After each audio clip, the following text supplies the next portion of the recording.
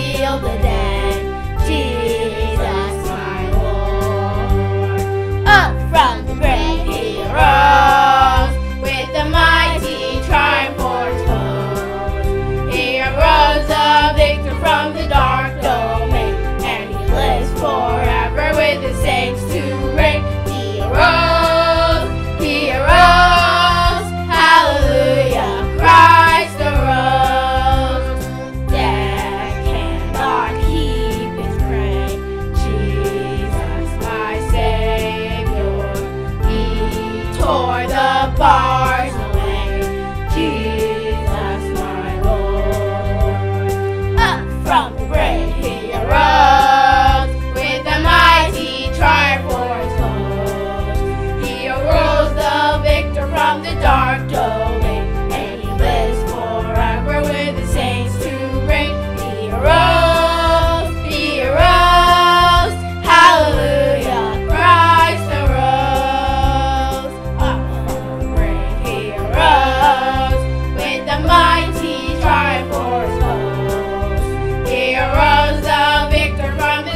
Bartolome, and he lives for.